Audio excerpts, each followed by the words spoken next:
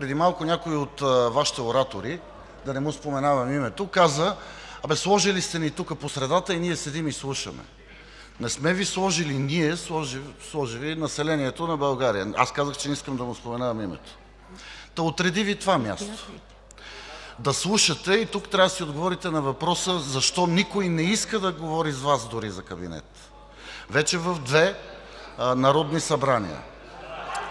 Но, но, госпожо Председател, може ли някакъв ред в тази зала да въведете и да си влезете в Моля без подвиквания, госпожо Атанасова. Така. Така че не се изкарвайте като някакви хора, които Вие наблюдавате и сте непричом абсолютно за нищо. Сега ще Ви кажа защо. Преди малко се говореше за някакви телефонни обаждания, господин Ненков. Аз не знам за телефонни обаждания, обаче доказано знам за управление на държавата чрез есемеси от Вашия лидер.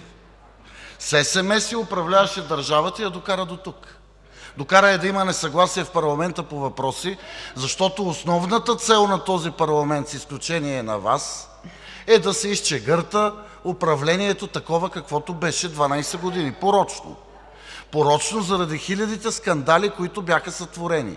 И ако тази държава не се беше управлявала, господин Ненков, силово, със страх, с манипулации от Вас, и всички знаят, доказано, снимано, тази държава сега нямаше да е такава.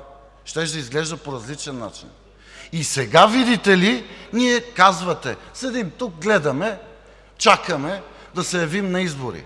Уважаеми колеги, актуализация на бюджет трябва да има и преди мен го казаха поне пет народни представители от различни групи.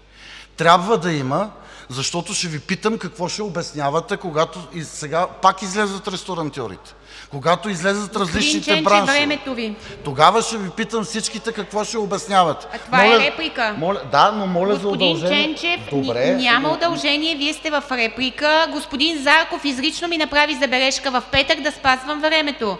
Е, Вие само, с, само на на е нашите реплика. представители Тя е правите лимитирана забележка. по правилник. Да, преди малко имаше обидни квалификации от тук, Вие не направихте забележка. Направих на всички, на които Не, не направихте, върнете стенограмата.